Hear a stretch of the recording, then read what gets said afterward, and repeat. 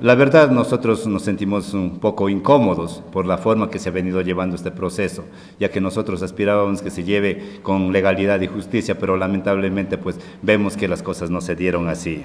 Un colectivo que en quienes están inmersos son los um, canales de riegos del Cantón Girón, a los que respeto mucho. Nosotros también, haciendo uso de nuestros derechos como ciudadanos ecuatorianos, también propusimos una consulta.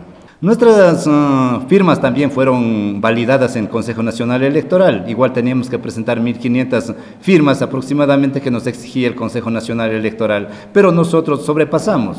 Eh, presentamos más de 3.000 firmas, pero las que fueron validadas fueron 2.611 firmas. La Corte Constitucional dispuso que se acumule el un caso al otro. ¿Por qué? Por ser eh, temas o preguntas que están relacionadas al mismo proyecto.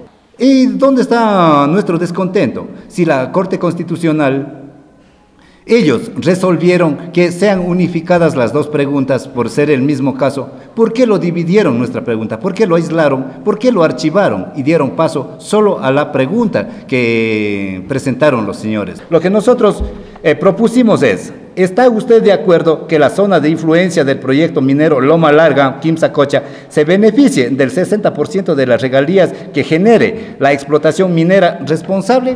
Esa fue, esa fue la pregunta que nosotros propusimos y fue aprobada por, el, por la Corte Constitucional. Nos manifestaron que era constitucional nuestra pregunta también, igual de los señores, no desconozco, también eh, lo aprobaron. Nuestra interrogante es que por qué se separaron o por qué dividieron el proceso y dieron paso solo a la, pregunta de ellos y la nuestra lo archivaron. Entonces nosotros no estamos en contra de la consulta. Lo que nosotros estamos es en contra de que se nos haya aislado nuestra pregunta. Y dos, que se, que se esté llevando este proceso justo en época de elecciones de dignidades sectoriales. Eso es lo que, seccionales, perdón. Entonces eso es lo que a nosotros nos incomoda. Yo creo que la consulta se debería dar, sí, sí, se debería dar, considerando ambas preguntas y en otro tiempo, en otro espacio. Pero sí me gusta ser tajante. Eh, hoy en día este tema se volvió un pastel para todos los candidatos. Todos quieren ahí eh, pegar su mascadita y en realidad no debe ser así. Esto desconocen que es un tema de interés nacional un interés colectivo y no, es un no debe ser un interés político. Otro tema también que nosotros no estamos de acuerdo, sí, nosotros propusimos que se dé la consulta en las zonas de influencia directa al proyecto minero Loma Larga. ¿Cuáles son? La, la parroquia de Chumblín, la parroquia San Gerardo y la parroquia Victoria del Portete. Ahora, ¿por qué lo desconocen a la parroquia Chumblín? Sabemos que son zonas de influencia directa al proyecto minero. La victoria del Portet de la misma manera. El Cantón Girón y sus comunidades pueden tener influencia, pero son de manera indirecta. Entonces, ¿por qué lo manejan de esa manera? Como lo digo, lamentablemente, ahora lo que yo sí puedo manifestar es que todos los señores candidatos lo cogieron como escudo de defensa este tema. Y si no tuviéramos aquí un proyecto minero, entonces, ¿qué? ¿De qué se agarrarían? Sabiendo que tenemos otros problemas también. ¿Y por qué no se enfocan en ellos? En el tema productivo, en el tema de empleo, en el tema de salud, en el tema de educación y muchos temas más que también son prioridad del Cantón Girón y sus parroquias y sus comunidades. Pero eso no los interesa. Lo único ahora está en boga es el tema de, la minería. Eh, a nombre de mis compañeros, hago la siguiente propuesta. No me importa quién se vaya como nuestra autoridad al municipio de Girón. Si un caso separara el proyecto minero Loma Larga, yo sería el primero en organizar. Eh, de la misma manera, con toda la gente, irnos y tomarnos el municipio para que el alcalde o la alcaldesa que esté al frente responda por toda nuestra gente y está en la obligación de darles las plazas de trabajo que necesitamos acá en San Gerardo. Ahora escucho a algunos señores candidatos que tratan el tema del turismo, que es como una alternativa de desarrollo para los sectores. Algunos de ellos ya fueron alcaldes, ya pasaron por su época. ¿Y qué hicieron en San Gerardo por el turismo? Absolutamente nada. Entonces, eso es lo que a nosotros nos incomoda acá en la parroquia San Gerardo. En realidad, no hay coherencia con los señores políticos. Ahora, eh, tengo documentos en los que, que eh, puedo demostrar, por ejemplo, la administración actual del municipio tiene varios convenios de cooperación con la empresa minera acá, la que está acá en nuestra zona, INB. Y eso ¿Por qué no los reconoce?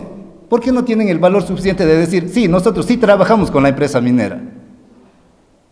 Lanzan la piedra y esconden la mano. Hay que ser coherentes, hay que ser transparentes. En algún momento cuando me entrevistaban en la ciudad de Quito, yo manifestaba bien claro que lamentablemente decimos que practicamos la justicia a nivel nacional, algo que ya no se da. ¿Por qué lo puedo decir? En días anteriores, cuando estuvimos en la primera parte de la audiencia, vimos que todo estaba a nuestro favor. Tal vez un 98%, por no decir un 100%, a nuestro favor. E incluso lo reconocía la misma señora jueza.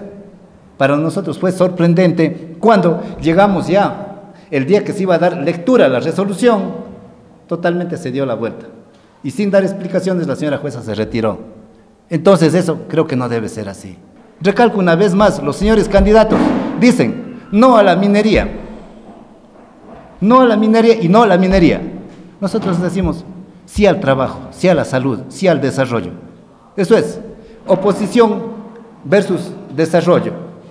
Eh, van a hacer campaña por su candidatura o por el tema minero. O van a hacer las dos cosas a la vez. ¿Por qué? Porque ellos dicen ser ambientalistas que cuidan el agua, que protegen el medio ambiente.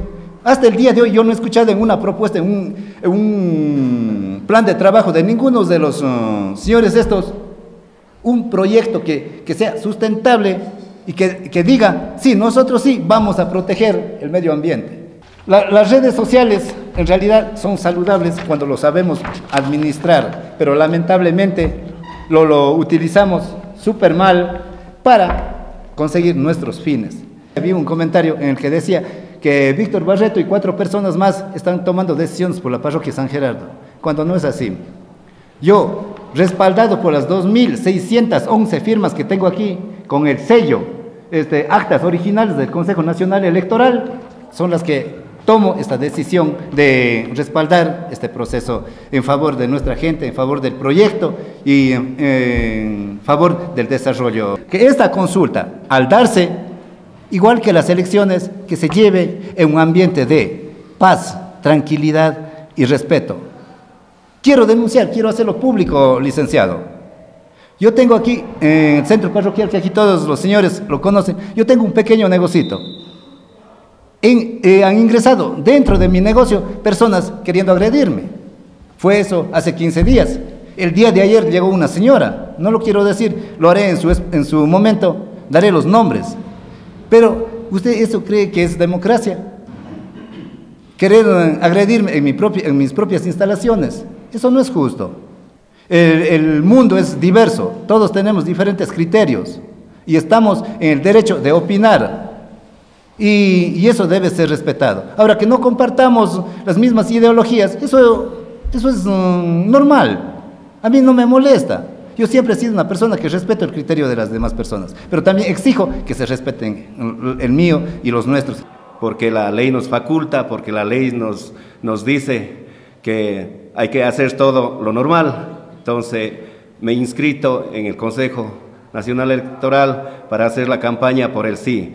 Pero esta campaña lo vamos a hacer con, decentemente, con transparencia, con eh, nada de politiquería, simplemente una campaña bien humilde y sencilla como solo tiene que hacer la parroquia San Gerardo.